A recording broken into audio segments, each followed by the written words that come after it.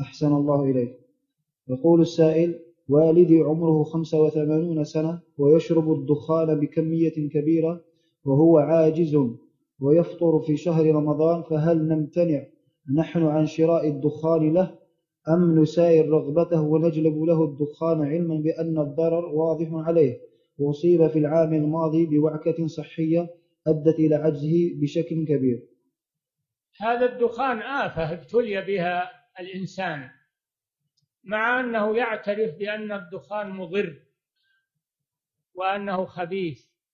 ما في أحد في العالم يقول إن الدخان من الطيبات بل كل العالم يقولون إنه من الخبائث وأنه مضر لا فائدة فيه بوجه من الوجوه. فعلى المسلم أنه يتركه وعلى والدكم أنه يتوب إلى الله.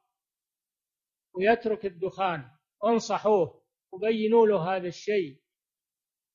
ولا يجوز لكم أن تشتروا له الدخان لأن هذا إعانة على العدوان وعلى المعصية.